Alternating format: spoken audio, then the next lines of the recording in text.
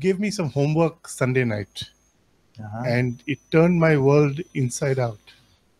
When I came Sunday night evening, uh, as I looked in, I could drop behind my personality. I could drop into deeper space and drop into the witness and the beautiful experiences that I've had. But you asked me a very simple question. And I mentioned, you know, I was anchored in my personality. And you said, what if you weren't anchored? And that grabbed me. Yeah. And it turned me upside down.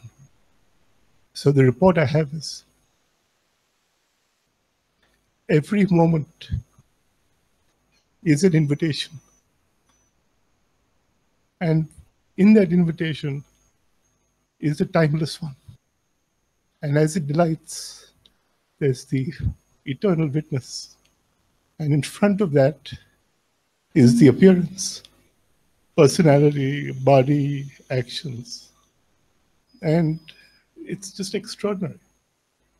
And I'm not saying that I grab that invitation every moment, but there have been so many beautiful moments that I guess what I'm saying is I can now start from there. Before I started as a personality or at myself and tried to drop in.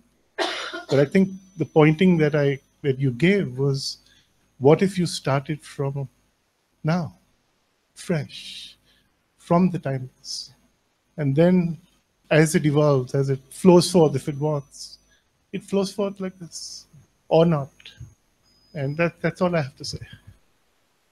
Very good.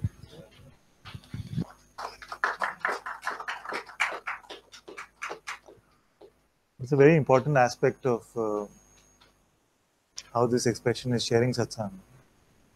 Not to start with the presumption of personhood, but to see fresh what is your true insight.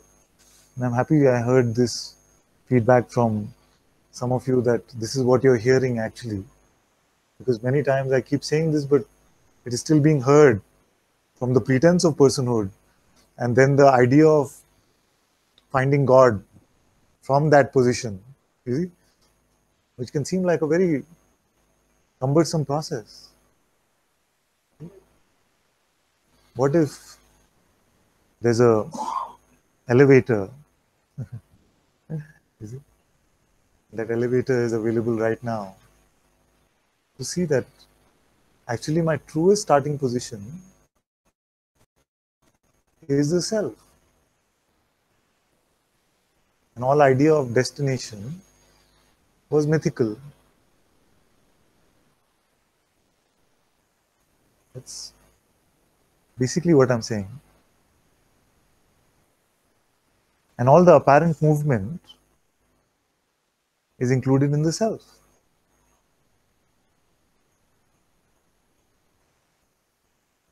You cannot leave it. And yet all things can appear and disappear within it. And I'm very happy also that I requested all of you not to take my word for anything. And I don't feel like you're doing that. You're using these as pointers and checking for yourself and remaining with your truth. Also, I like some of you who didn't succumb to any peer pressure and said what was true to your experience. I appreciate that a lot. See? Because in this, our relationship is full of integrity. If we start following and we start saying, okay, he said I am awareness, so I should not sound lower than that, or something like that, then it can become another game. I'm very happy, and with this integrity, all auspiciousness can only arise.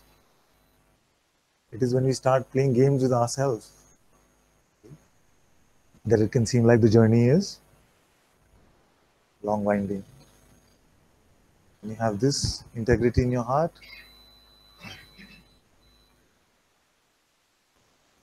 my truest insight is that I'm still a person. This is good enough for me. This is very good for me actually. Okay? Because then we have resonance between what is really going on and what the mouth is saying. See? Otherwise, many times hear something, something else, but mouth is saying, I am the pure witnessing of you, like that. So I appreciate very much that some of you just stayed with your own truth, did not succumb to any peer pressure of the remaining 70, whatever in the room. It's very, very courageous and must be applauded actually. It must be applauded.